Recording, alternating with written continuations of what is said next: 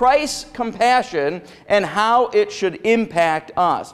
Obviously, Jesus Christ showed compassion when he was here on this earth. That was one of the character traits that he expressed while he was here. And how should that impact us as followers of Jesus Christ? You know, the Bible clearly teaches us that we are to walk in his steps. You know, we even sang out of the hymnal this morning that very thing, that we're supposed to follow in his steps, follow in his way. And that really is the command, and that really is the job of a Christian is to follow in the way of Jesus Christ. And let me give you a, a, quick warning on this. We're not to follow in the way of the Jesus Christ that Hollywood has made up. Do you guys understand that? We're supposed to follow in the way the, of the Jesus Christ that the Bible describes who he is. Who is the Jesus of the Bible? I don't care who the Jesus of Hollywood is. I don't care who the Jesus of, you know, popular opinion is. I care who the Bible or who the Jesus of the Bible is. And that's the one who we need to follow. And what are those character traits? He has many character traits among him, but one of those that stands out in his earthly ministry while he was here was compassion. That compassion ought to be a contagious compassion which compels the followers of Jesus Christ to act as he did and express that compassion in the same manner. Take your Bibles and go to Matthew chapter 9 this morning. Matthew chapter 9 is a good place for us to start off. How many are with me this morning? Matthew chapter 9, and I want you to look at verse number 36 with me. Matthew chapter 9, and we're going to start here in verse number 36, and we're going to read to verse number 38. Now, follow along with me in your Bibles, and then we'll open up with a word of prayer. But when he saw the multitude, he was moved with compassion on them because they fainted and were scattered abroad as sheep having no shepherd. And then he said unto his disciples, The harvest truly is plenteous, but the laborers are few. Look at verse 38. Pray, therefore, the Lord of the harvest, that he will send forth laborers into this harvest. I want you to realize that Jesus Christ looked out amongst a group of people who had not eaten in days. They had been walking for days following him. And because they were scattered and because they were his creation, he looks out at them, and the first response is compassion. And we're going to talk about this in a little bit, but I'm sure that there were some sinners among that crowd. Wouldn't you think so? I'm sure that amongst that crowd, there were some pretty rotten people who were maybe trying to get their life right. I'm sure there were some adulterers in there. I'm sure there were some fornicators in there. I'm sure there were some of all types and all stripes in that crowd. But I got to tell you this morning, Jesus Christ did not look out at that crowd and first see their sin. He looked out at that crowd and first saw their need. And their need was that they needed a Savior. And the reaction that he had to that was that he did not show anger, he did not show wrath, but he showed compassion. Now, understand me this morning. I'm not going soft. The God of the Bible is a God of judgment. He is a God of wrath. He is a God of righteousness. Don't get me wrong. Those are certainly aspects of God. But let me tell you this morning you and I are not called to follow in the footsteps of God the Father. You and I are called to follow in the footsteps of Jesus Christ. Are you with me? And when Jesus Christ was here on this earthly ministry, he looked out at this crowd of people of all backgrounds who struggled with all kinds of different things, probably much like this crowd here, all of us. And he saw sin, yes, but he didn't respond with anger and wrath and brimstone and fire from hell. He responded with compassion. And I believe that we are supposed to follow in his footsteps. Therefore, that compassion that he showed that crowd ought to be contagious. Amen? It ought to be contagious. It means it's communicable. It means it spreads to the next person and to the next person and to the next person. We as Christians should show compassion. If we are not going to show compassion, then tell me who is. If we, as followers of Jesus Christ, are not going to show compassion, then tell me who is going to show compassion. There's an illustration that I'd like to tell you, and it's about a man who falls into a pit. I don't know, you may have heard this illustration before, but the uh, interesting because as uh, he was laying in the pit and there he was stuck and he couldn't get out there were several people who, who walked by and saw him in that pit. And you know, uh, the Pharisees first walked by and said, uh, You know, bad people fall into the pit. The Pharisee walked by and looked down at the man in the pit and he says, You know, it's only bad people who fall into the pit, right? It didn't help the man, did it? Didn't help the man at all. You know, a Christian uh, scientist came along and looked at him in the pit and he said, uh, You know, you only think you're in the pit. Right? That didn't help him much, did it? He was still in the pit. Not only that, but the fundamentalist walked by and said, You deserve to be in the pit. It didn't help him, did it? Not at all. Didn't help him at all. The charismatic walked by and said, Hey, just confess that you're not in the pit. Right? Still didn't help him. The man was still in the pit. A Baptist came by and gave him a hot dish. didn't help him much. He was still in the pit, wasn't he? right? Okay? Presbyterian uh, Calvinist came by and said, You know, that was no accident that you fell in the pit, right? That's a theological one. The theological uh, thinkers out there got that one, right? An optimist came by and said, hey, could be worse, right? Could be worse. Pessimist came by and said, you know, things will probably get worse. You know, all of those people walked by, and I'll tell you what, that's probably a pretty accurate representation of most of Christianity today. But you know what happens is we can give them all of the advice in the world, but they still don't get out of the pit. But Jesus Christ walked by that pit. And you know what he did?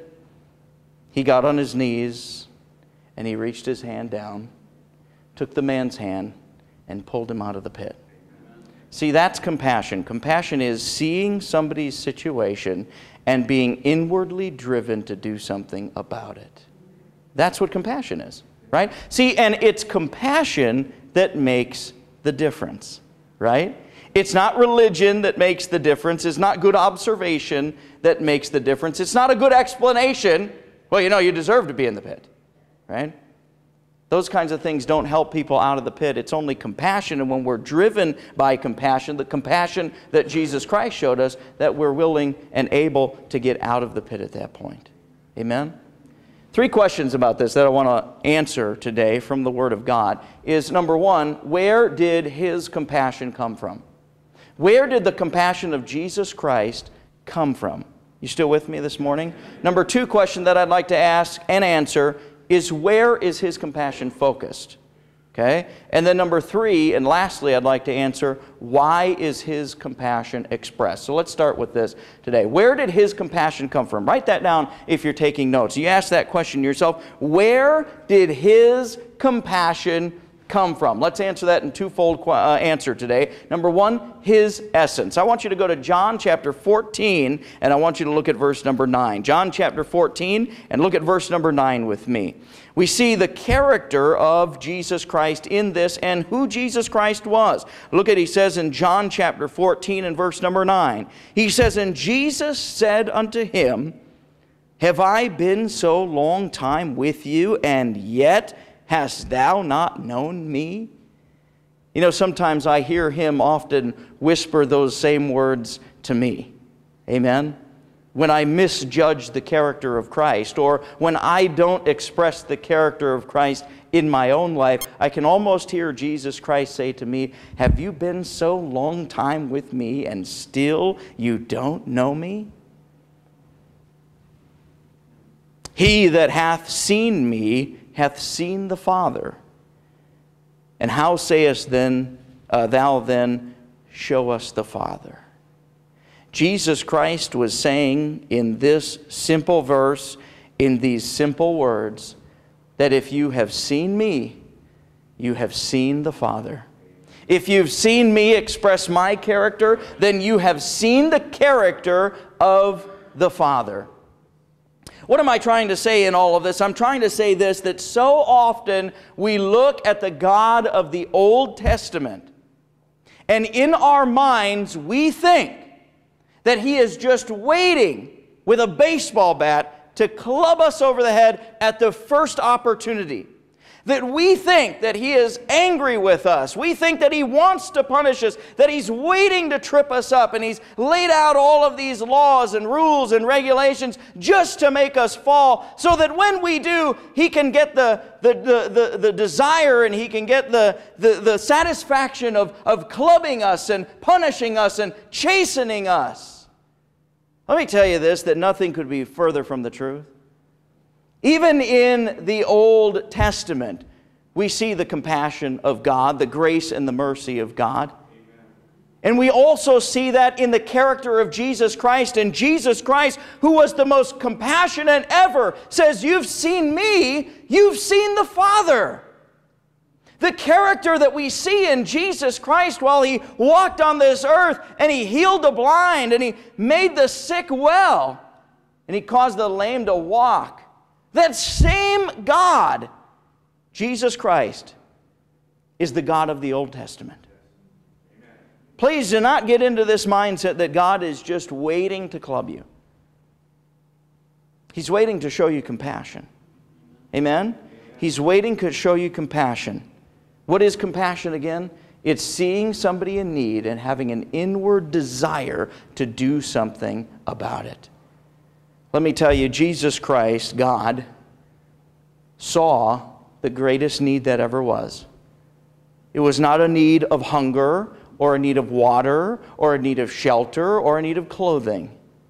It was a spiritual need. Amen a spiritual need in which God the Father looked down upon His creation and saw that you and I were all sinners, every one of us. For all have sinned and come short of the glory of God. All ground is level at the cross. There is not one person in here who has not sinned. And if somebody in here says that they have not sinned, the Bible says that they're a liar. Amen? He saw our need, and our need was a spiritual one. For all have sinned and come short of the glory of God. He said, I love my creation. I love what I've created. I love that man. I love that woman. I love them. And they've found themselves in a bad way. And me, being a God of compassion, sees that need that they have. And I'm going to do something about it. And you know what God the Father did? God the Father sent his only begotten Son to die on a cross for your sins and for my sins. That's what he did, being inwardly driven to do something about the need. That's what God did. Amen. We learn in the book of Acts that it says that God shed his own blood for you and for me. The blood that was shed on the cross of Calvary wasn't just any blood. It was divine blood, it was God's blood. The Bible says, For the wages of sin is death, but the gift of God is eternal life through Jesus Christ our Lord. The price that you and I have to pay for our sin is eternal death. But think about what Christ did. Came to the cross. What did he do on the cross? Did he live on the cross? No. He died on the cross. Why? Because the wages of sin is death. He paid your price. The wages that you were supposed to pay, He paid it on the cross of Calvary. Now that's compassion. From the God who's the God, same God in the Old Testament, same God in the New Testament, that is compassion. He's the same God yesterday, today, and forever. You see, when we see the compassion and the character of Jesus Christ, why did he show this compassion and where did it come from? It came from the essence of who Jesus Christ was because he was God. And he says to these unbelieving disciples and these unbelieving Pharisees, If you see me, you see the Father. Amen. His essence. Where did his compassion come from? Also, his experience his experience. Go to Hebrews chapter 4 and verse number 15 with me. Hebrews chapter 4. This is one of the things that sets Jesus Christ apart from any other God. Let, let me say that again. This is one of the things that sets our God apart from any other God. You with me? Hebrews chapter 4 and look at verse number 15. Hebrews chapter 4 and verse number 15. This is what it is. He says this Seeing then that we have a great high priest. How many can say amen to that? That we have a great high priest. A high priest was somebody who was supposed to go before God on behalf of the people. An advocate, right? An advocate, like an attorney, stands before a judge on behalf of their clients. The high priest stood before God, the ultimate judge, on behalf of the people. Jesus Christ is our advocate. Amen? The high priest. But look at what he says that is passed into the heavens, Jesus, the Son of God, let us hold fast our profession. For we have not an high priest which cannot be touched with the feelings of our infirmities, but was in all points tempted eh, like as we are, yet without sin. Let me tell you that Jesus Christ came to this earth. And yes, his compassion came from the essence of who he was. But his compassion also came from what he experienced on this earth. The Bible just told you and I that Jesus Christ, while he was here, this high priest came to a lowly state and became like as we are. Amen? And he was tempted in all points as we are, yet without sin. You think, oh boy, God doesn't know what I'm going through. God knows exactly what you're going through. Amen. You're tempted, He was tempted. Amen? You and I are tempted in all kinds of different ways. Jesus Christ was tempted in the same ways Amen. while He was here walking on this earth. There is nothing that you're tempted with, nothing that you struggle with, that Jesus Christ did not experience in his ministry here on this earth. You tell me what other God became like his own people and experienced what they experienced so that he could experience and show compassion. Compassion not from a lofty estate but compassion from a lowly estate, eye level with you and I. That's where his compassion comes from, his experience. But jump over to chapter 2 and look at verse number 18.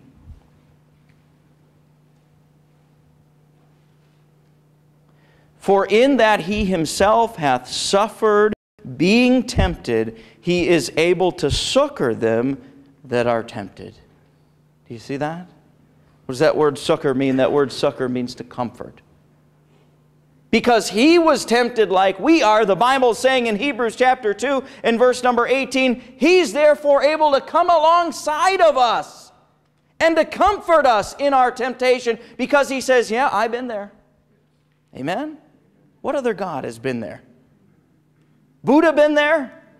Has Allah been there? There's no other God that's been there. Only the God of Abraham, Isaac, and Jacob, only the God of Jesus Christ, amen, has been where you and I have been, suffering the same temptations, suffering the same trials, the same tribulations. There is nothing that you are going through that Jesus Christ did not experience here on this earth. How do I know that? Because it says, in all points tempted as we are, yet without sin. Amen. He knows. This is not some distant God who's disconnected from His creation. This is a God that cared so much in the essence of who He was that He expressed that compassion. And in expressing that compassion, He also experienced that compassion and is now able to pass that along to us. Amen? You ought to praise the Lord that we serve a God whose compassion was experienced. And the reason that He gives us His compassion and where His compassion comes from is because He experienced it Himself. You go through and you look at what Christ experienced, and you begin to realize as you study the Gospels, He really did go through some of the very same things that we went go through. Do you ever feel alone? Do you ever feel alone? Well, I'll tell you what, I feel alone. Amen? You say, How in the world could you, Pastor Brad Brandon, feel alone? You're a pastor. You're a radio talk show host. Everybody loves you. Not everybody.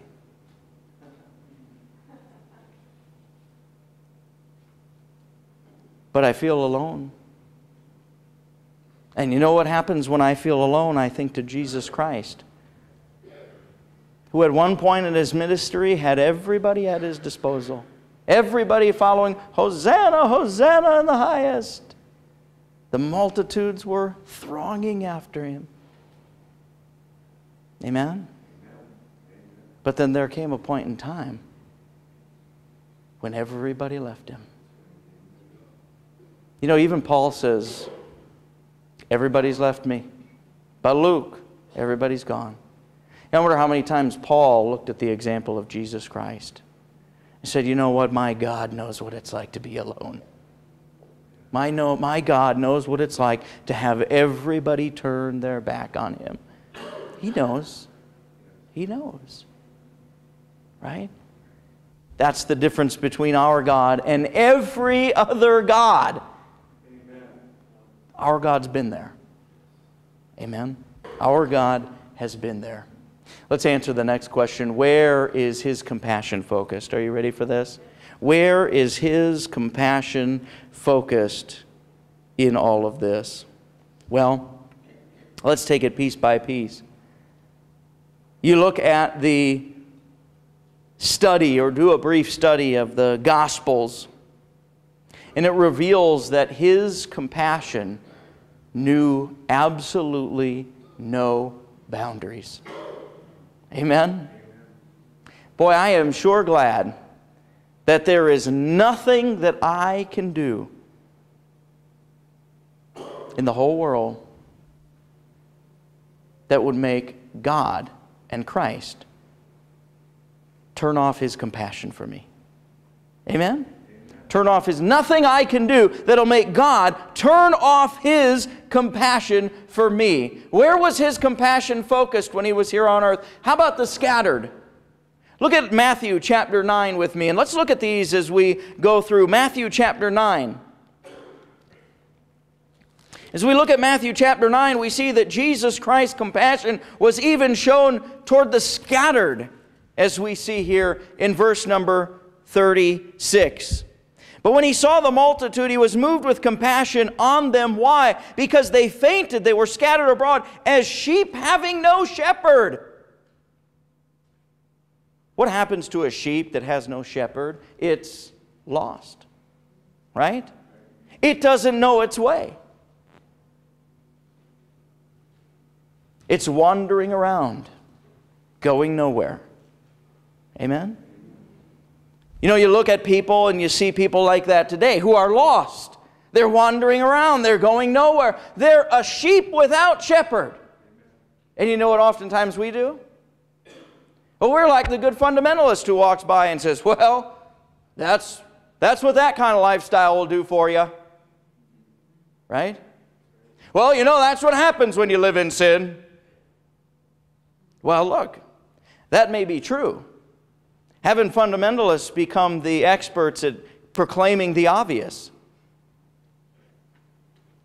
But compassion doesn't drive us to uh, proclaim the obvious. Compassion drives us to what? Action. Like Christ, who got on his knees and reached down in the pit and helped the guy out. He didn't just say, well, you know, things could be worse. Well, things are probably going to get worse. Right? Why don't we look at people who are scattered? They're lost. They don't know where they're going. They have no shepherd. Why don't we look at them with compassion as Jesus Christ did? Jesus Christ realized that their problem was not that they were lost, their problem was that they had no shepherd. Amen? Because let's face it, you can be found, but if you're found by the wrong person, well, doesn't do you much good, does it? What if you're found by somebody who's lost themselves? Well, you both fall in a ditch. You have to be found by the shepherd.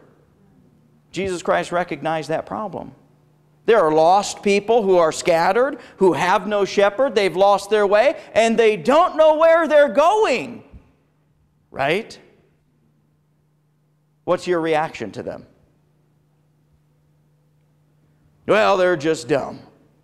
Well, they just hate God. Well, I'll tell you what, there's probably a time in my life when I hated God. Sure glad somebody had compassion on me.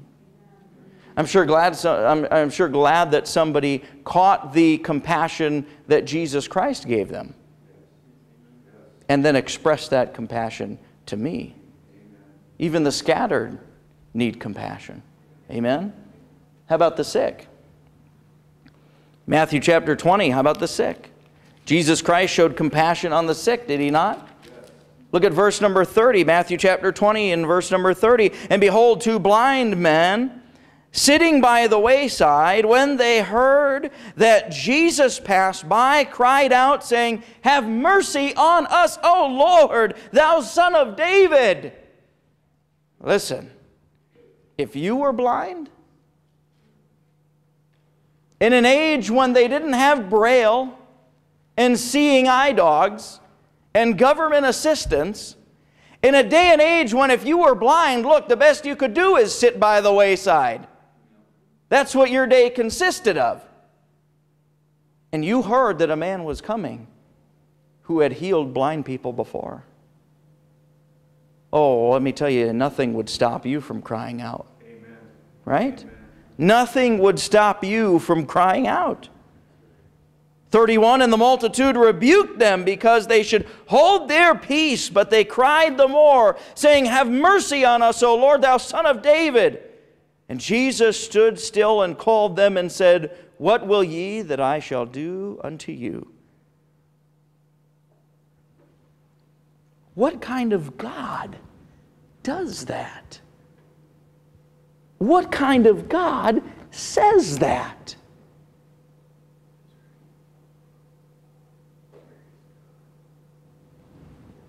He walks by the wayside. He's the creator of the universe. By him exist, the Word of God says. The sun rises and the sun's because he said so that day. And he sees two poor blind men who haven't got a hope in the world. And what does he say to them? What can I do for you? That's what he's saying. What can I do for you? That's compassion. That is compassion. I don't know of any other God who came to this earth to serve other people. Every other God that I know of came to be served. Here Jesus sees them and says, What can I do for you? What will ye that I shall do unto you? And they said unto him, Lord, that our eyes may be opened. So Jesus had compassion on them and touched their eyes, and immediately their eyes received sight, and they followed him. See, when somebody experiences the compassion of Jesus Christ, they become followers of him. Amen? And it doesn't matter whether they see that compassion directly from Christ or if they see the compassion of Christ through you they become followers of Him. Right? Not only does He have compassion on the scattered and the sick, but He has compassion on the suffering. Look at Luke chapter 7. Luke chapter 7, and look at verse number 11. And it came to pass the day after that he went into a city called Nain. And many of his disciples went with him, and much people. Here's Mr. Popular now. Isn't always that way, right? But you know, I, I can really relate to that. You know why? Because everybody loves you when you're hitting home runs. But when the home runs dry up, you find out who your real friends are, don't you? And when he came nigh to the gate of the city, behold, there was a dead man carried out, the only son of his mother, and she was a widow, and much people of the city was with her.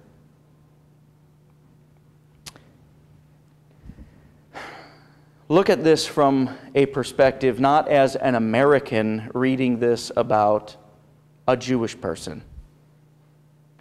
Put yourself in the life in the experience, in the situation of this woman. Okay? She had a husband who died. She was a widow. Amen? There's no government assistance at this time under the Roman government for that. Right? There's none. Well, there's no assistance for people who can't work and find jobs, and no assistance for women who don't have somebody to support them, right? But she had one hope. She already suffered because she lost her husband, right? But at least she had her old son. Her son would take care of her, right? At least he could grow up and hold a job and take care of her and bring some kind of income into the house. And, and that's what happened. See, people didn't go on welfare, they went to their family. Well, I, I wish we could go back to that. Now everybody relies on the government and we're dividing our families up. Right? You know what happened when the in laws got too old to take care of themselves? They didn't go off to the nursing home, they moved in with their children. Amen? Don't get any ideas, Mark. I'd love for my in laws to, I mean this in all seriousness, I'd love for my in laws to live with us. They probably wouldn't like it much, but, but I'd love for them to live with us. See, but that's the way they did things back then. So she's got, she's suffering because of the loss of her husband, but what happens? She's got one hope left her son. And what happens? He dies. This lady's in a bad way. She's not only suffering emotionally because of the loss of her husband, emotionally because of the loss of her son, but she's suffering financially. She's suffering with food and needs and all kinds of felt needs that are out there. Listen to me. She's suffering. Jesus Christ sees this situation and he says, Oh, no, no, no. No, no, we can't have that. Right? He saw her. And what does the Bible say? Had compassion on this woman. Amen? Compassion on this woman. Verse number 13. And when the Lord saw her, he had compassion on her and said unto her, Weep not. Let, me explain to you something that the tears that she was weeping were not only emotional tears for the loss of her husband, and not only emotional tears for the loss of her son, but you know what I think? I think there were a few tears in here that were, that were tears of, what am I going to do for food? Amen. What am I going to do for a place to live? What am I going to do to stay out of the gutter? Hmm? Verse 14, and he came and touched the bier. The bier is the, uh, the, uh, the thing in which the body is carried on. And they that bare him stood still. And he said, Young man, I say unto thee, arise. And he that was dead sat up and began to speak, and he delivered him to his mother. That's compassion. That's compassion to the scattered. That's compassion to the sick. That's compassion to the suffering.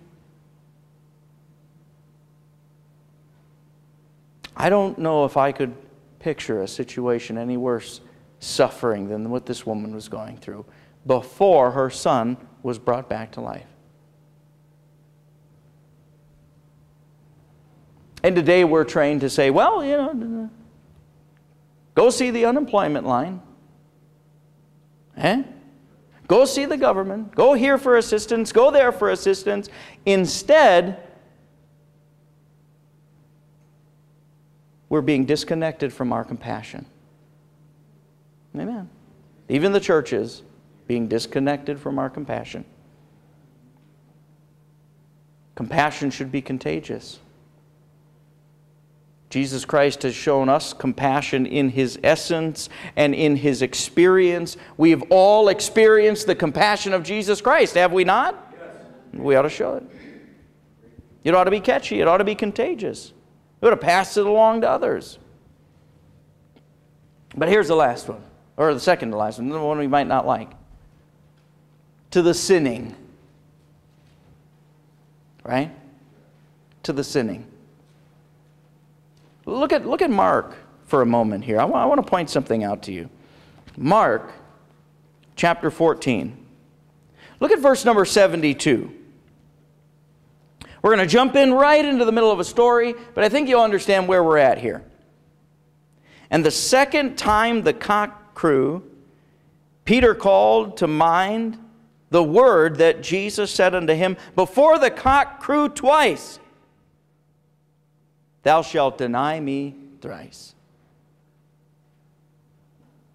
And when he thought thereon, he wept. Jesus Christ told Peter, Before that cock crows two times, you're going to deny me three times. What did Peter do? Just exactly as the Lord had predicted. He gets around the fire. Hey, you're the guy who was around Jesus. No, I wasn't. Little girl comes up to him. Hey, you're the guy who was following with Jesus, weren't you? No, it wasn't me. Goes over to another group of people. Hey, you talk like one of those guys following Jesus. I am not a follower of Jesus. Three times he denies him. Right? Turned his back on Jesus Christ. How did Jesus Christ respond to this? Look at Mark chapter 16 and verse number 7. This is amazing to me because I don't know why God does it this way.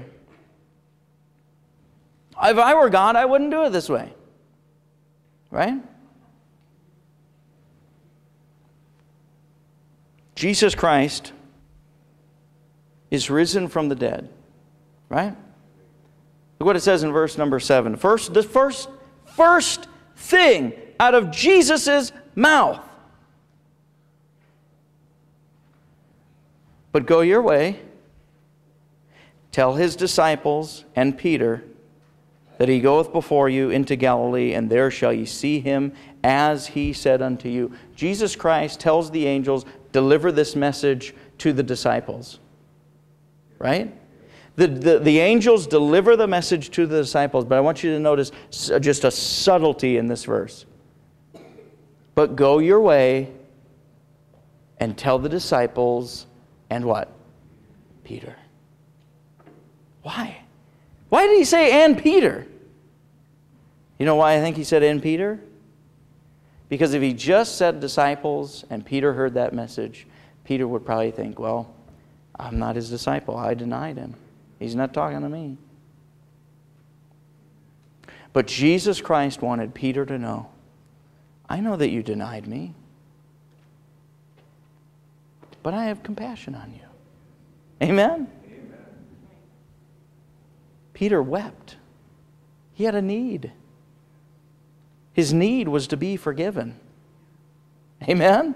That's what his need was. He denied the Lord three times. He realizes what he did, and he instantly goes to tears, the Bible says, because he had a need to be forgiven. And Jesus Christ is there to inwardly respond to that need. And Jesus Christ says, Hey, go tell the disciples and Peter to meet me down in Galilee. Now, look, I don't know about you, but if I left town for a while and I caught wind that, you know, somebody was talking bad about me behind my back, and three times somebody asked them if they were a friend of mine, and they totally denied being my friend, I'd come back looking for them.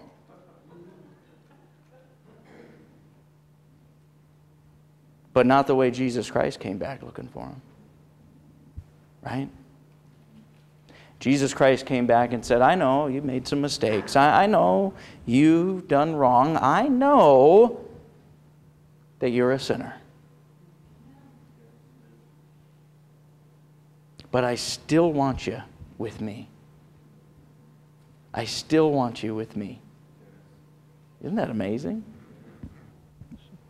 Not only does he focus his compassion on the scattered, the sick, and the suffering, and the sinning, and don't ever forget that.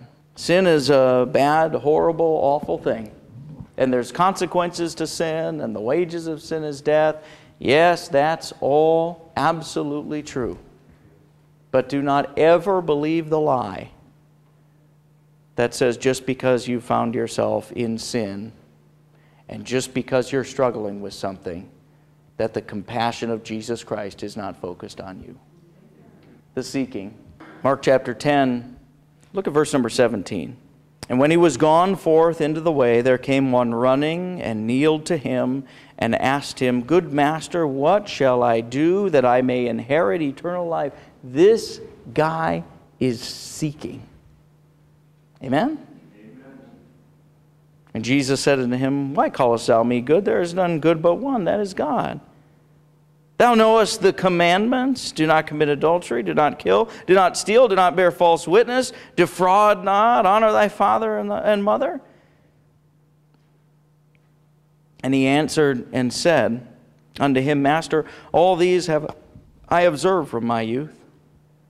Then Jesus, beholding him, loved him and said unto him, What? Look, you have to understand this word beholding in the Word of God. I've explained it before, but it's the difference of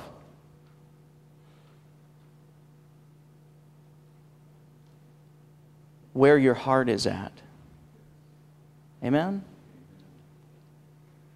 The Bible says that, that Judas stood afar off and watched what was going on with Christ. Right? But the Bible also says that Mary stood afar off, watching what was going on with Christ. You know what the only difference is? The word beholding is used to describe where Mary's standing. She stood beholding Christ afar off. You know what that means? It means physically she was here, but her heart and emotionally and spiritually, she was right next to Christ.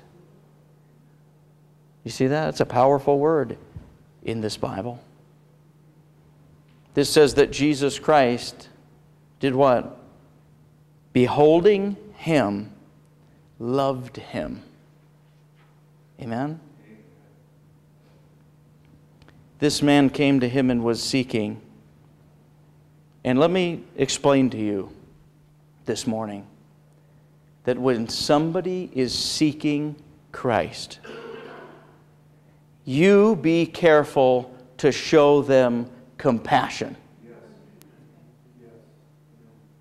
And don't chase them off because their hair isn't right, or their dress not right, or they've got an earring where you're not supposed to put earrings. Amen? Or they don't talk like you, or they don't walk like you, or they're struggling with some things, or they're into this, or they're into that. Let me tell you something. You be careful to show somebody who's seeking compassion. Because I've seen many a stupid Christians run off people who were seeking because they lacked compassion. There's a story that Stephen Covey tells in one of his books. It's a personal experience that he had on a subway in New York City one day. He walked into the subway and he sat down. The train moved to the next stop, stopped, and gentleman stepped on the train and had two young kids with him. The man sat down in the chair on the subway, closed his eyes, and was oblivious to what the kids were doing.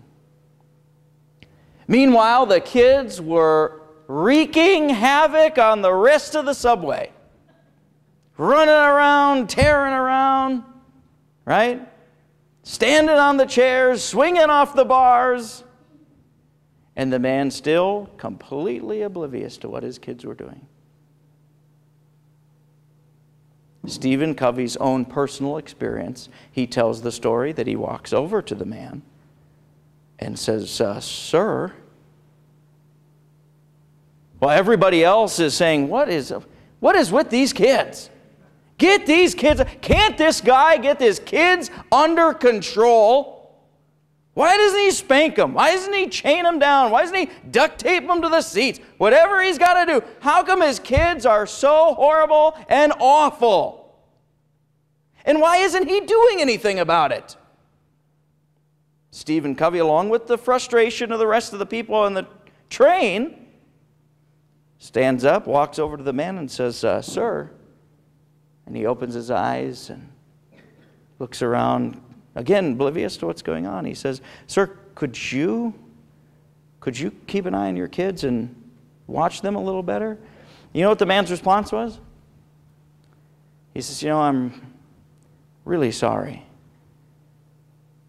I just, uh, I'm exhausted. He said, We just came from the hospital where an hour ago my wife and their mom passed away. And he says, I just don't know what to do. Now, sometimes compassion is not seeing what you see on the surface. Amen? But sometimes compassion starts when we begin to understand the hurt of other people. Right? Stop looking at the surface. Didn't the disciples teach us that? Lord, when are we going to have our kingdom? Who's going to be the highest in the kingdom? When are you going to enter in your kingdom? When are we going to get rid of these Romans? Surface. Right? Stop looking at the surface. Stop looking at the way things appear. And realize that people are hurting. And our compassion needs to be extended to them while they're hurting. Let me ask you this question What do you see? Do you see the surface? Or do you see or try to see what's going on underneath the surface? Amen. Why is his compassion expressed? Let's move through this quickly. I think number one, his compassion is expressed for one of two reasons instruction. Look, at Luke chapter 9 with me. Luke chapter 9, as we move through this.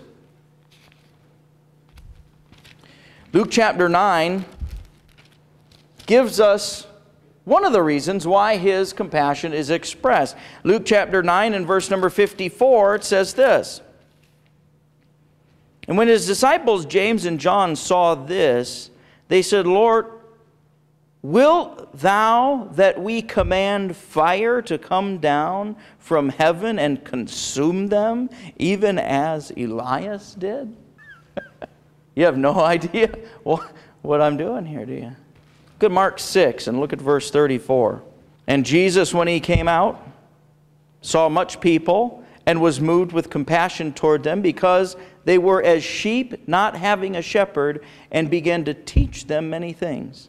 And when the day was now far spent, his disciples came unto him and said, This is a desert place, and now the time is far past. Send them away that they may go into the country round about and into the villages and buy themselves bread. They have nothing to eat. Why did he express his compassion? Because you and I naturally know nothing about compassion. Amen? Lord, why don't you just send fire down from heaven and burn them all up? You let Elias do it, let us do it. Lord, I know we're in this desert place. Why don't you send these people away? Let them go buy for themselves food back in the villages. Jesus Christ says, huh? I got a better plan. They're hungry, and we can feed them. He showed his compassion. Why? For instructional purposes. Because without him, you and I know nothing about compassion. You and I are like the disciples. Send fire down and burn them up. That would be cool. Cool for the ones not being burned. Have them walk back out of this desert place. They can buy their own food. That's not compassion. Jesus Christ looks upon them and says, They've been walking all day. We're going to have them walk all the way back so they can buy their own food. Why don't we just feed them right here? And I'll feed them for free. And I'll show them a miracle. And I'll make them famous and put them in the Bible as one of the 3,000 and one of the 5,000. Right? That's compassion.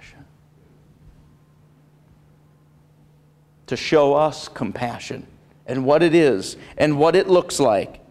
That's why he expressed his compassion. But why else? Involvement. Follow with me. We're almost done. Look at Matthew chapter 7 in verse number 12. Now, you all ought to know this because this is the golden rule. Okay? Right? Matthew 7 12 is the golden rule. Remember that. How many of you knew that? Matthew 7:12 was the golden rule. Before I just said it. Not too many. Well, then you just proved to me that we need more involvement. Let's read it here for a minute. You ready? Therefore, all things, whatsoever ye would that men should do to you, do ye even so to them, for this is the law and the prophets. Amen? Let me, let me explain something to you. The golden rule was around, or variations of it were around, long before Jesus ever spoke the words. Were you aware of that? Yes. The Hindus taught a variation of the golden rule. The Jews taught a variation of the Golden Rule. The Zoroastrian religion taught a form of the Golden Rule. The Greek philosophers taught a form of the Golden Rule. Let me, let me read for you their version of the Golden Rule. You ready?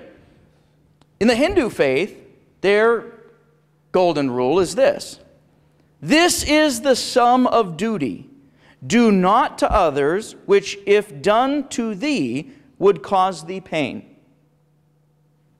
Fairly close. L- listen to the, to the Jewish golden rule. What is hateful to you, do not to your fellow men. That is the entire law. All the rest is commentary.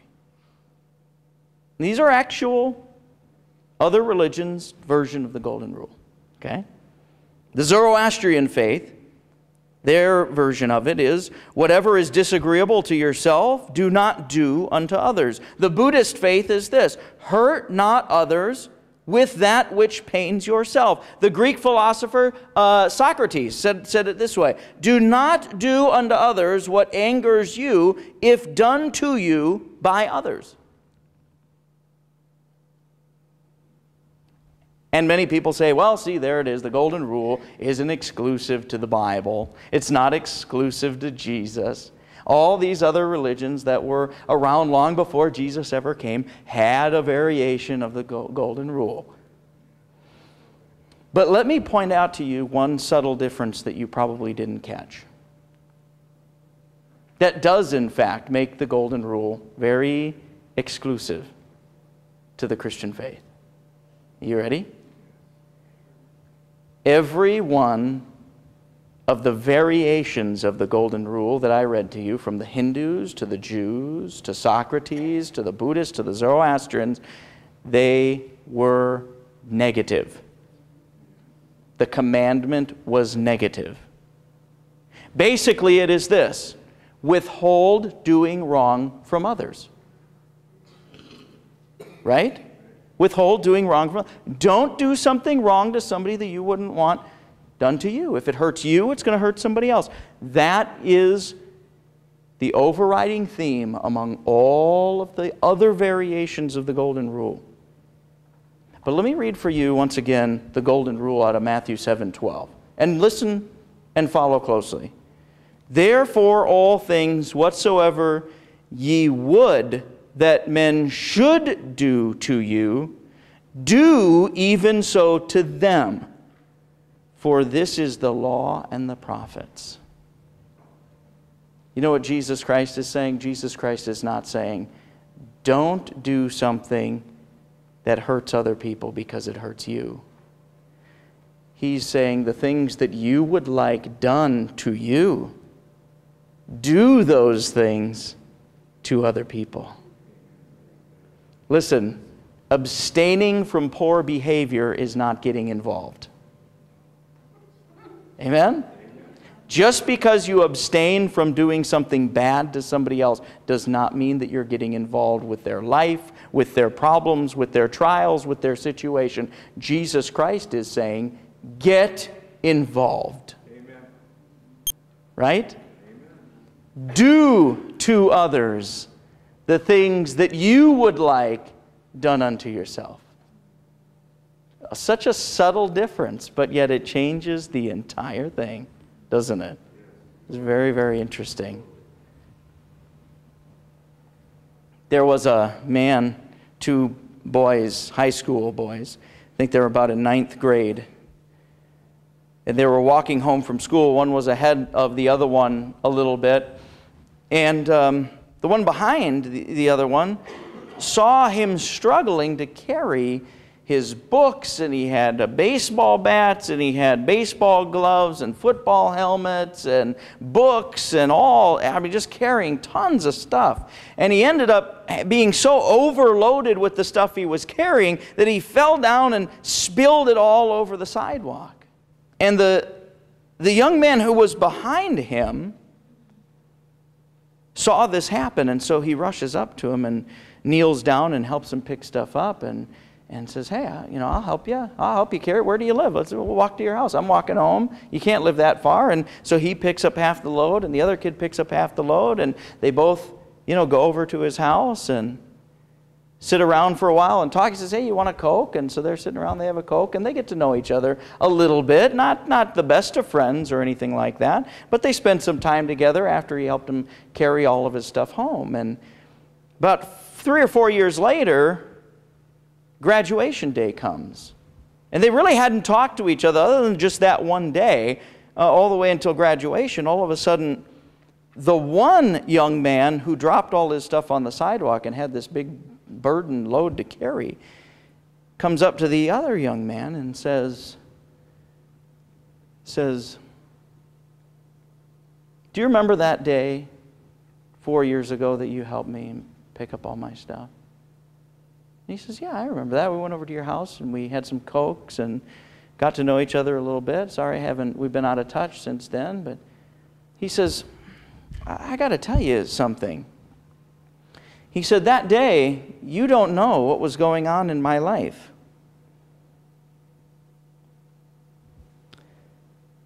But he said, I had cleaned out my locker at school. And this is a true story. He said, I had cleaned out my locker at school because I was going home to commit suicide.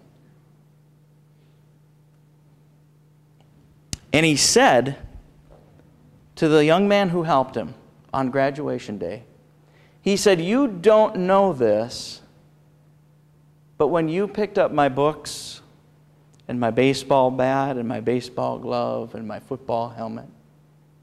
He said, When you helped me pick up my stuff, he said, You saved my life.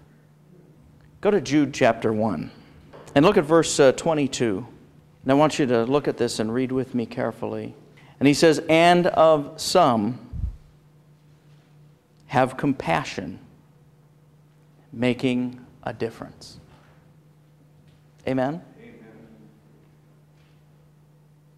Jude says that those who have compassion make a difference.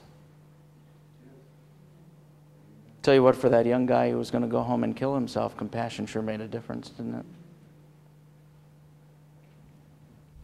When Jesus Christ had compassion on the scattered, boy, it sure made a difference. When he had compassion on the sick, it sure made a difference. When he had compassion on the seeking, sure made a difference. When he had compassion on the sinning, sure made a difference, didn't it?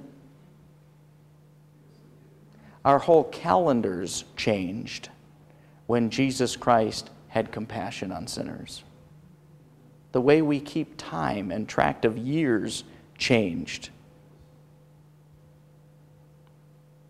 Right? When Jesus Christ had compassion. I'll tell you something. It is those who have compassion that make a difference. Jesus Christ showed compassion when he died on the cross of Calvary is his compassion contagious through you? Do you show his compassion to others through your life? Those who might be seeking? Or would you prefer to scare them off? Because that certainly is more spiritually effective, isn't it? Hmm? Compassion makes a difference. Have you received the compassion that Jesus Christ showed so many years ago on the cross of Calvary? Have you received that into your own life? Amen? When he died on the cross, he showed his love for you.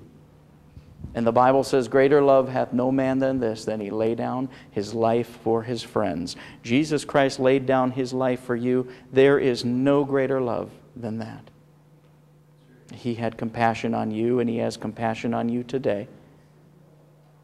Amen? Take the compassion of Jesus Christ, utilize it in your own life to receive the work that He did for you on the cross of Calvary as He suffered and died and bled for your sins. Receive that gift that He's offering to you then as that compassion has been shown to you, it is supposed to be a contagious compassion that you then pass on to other people. And Jesus Christ is glorified whether people see compassion from Him directly or whether they see His compassion through you. Let's.